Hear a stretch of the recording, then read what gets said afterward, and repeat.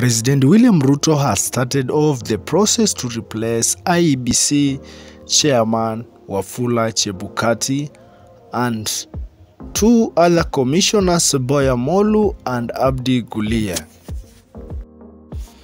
In a Gazette notice, the head of state said that the tenure of the chair and the two commissioners is set to lapse on January 17, 2023.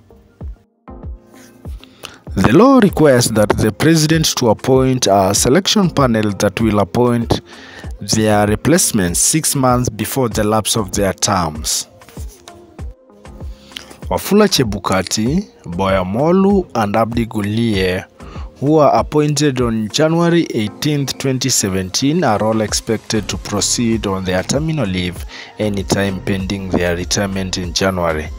This now means that the IBC is going to be left with four commissioners that is, Juliana Cherere, who is the vice chair, Justus Nyang'aya, Francis Wanderi, and Irene Masit.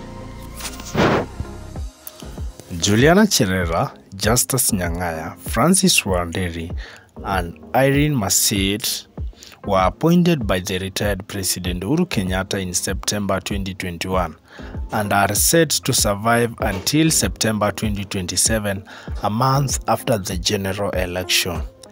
They were replaced after Roslina Kombe, Margaret Mwachanya, Paul Kurgat, and Maina Koni, who resigned from the IEBC.